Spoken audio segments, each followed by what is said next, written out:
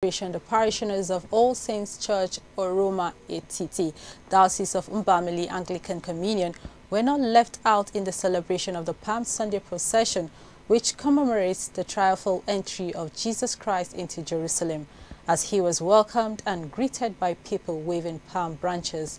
The scenario was not different at Oroma Etiti, Anambra State, as the parishioners and priests of the All Saints Church marched around the church environs, waving palm branches as they sang to the Lamb that was slain for the sin of man.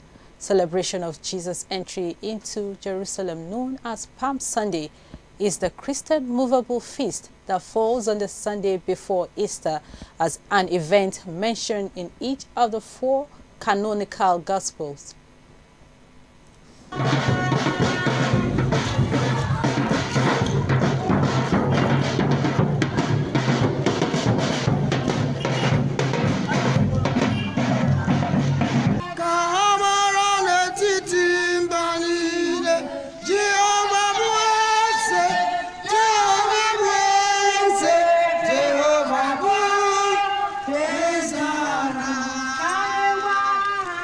màá a rán létí tí ń.